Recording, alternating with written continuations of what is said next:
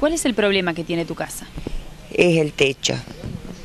Y he pedido muchas veces a los superiores, ¿no es cierto?, de que y no no consigo de que me cambien el techo de la casa. ¿Cómo viviste se- la última lluvia con el techo? Mal, mal, mal, mojada todo, todo mojado y cada vez está peor, se me raja la pared y todo. Yo tengo un pedido, pero todavía no llega. De aquí a 15, 20 días recién me van a dar una solución, va a venir el asistente social.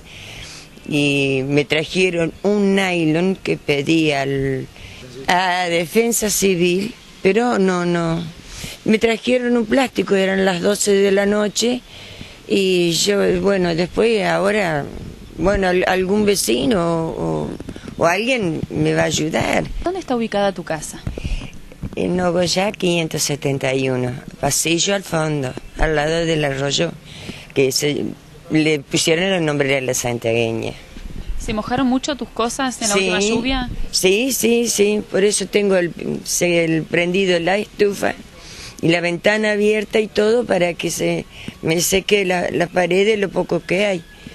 Y tapado todo porque no es impresionante cómo está el techo, ustedes lo vieron. ¿Cuántas familias viven en esta cortada al costado del arroyo La Santiagueña? 11 familias.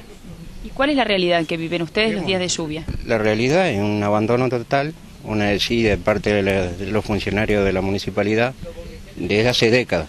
¿Cuáles son los problemas que tienen? Y bueno, el problema fundamental es el arroyo, desbarrancamiento, la mugre, inclusive parte de la misma municipalidad tiran basura acá. ¿Y cuando llueve qué pasa con esta barranca? Y se desbarranca por el hecho que no hay una contención en el fondo y el barrial es imposible andar. Ayer justamente era eh, peor que estar en el campo, me era un chequero, directamente un chequero.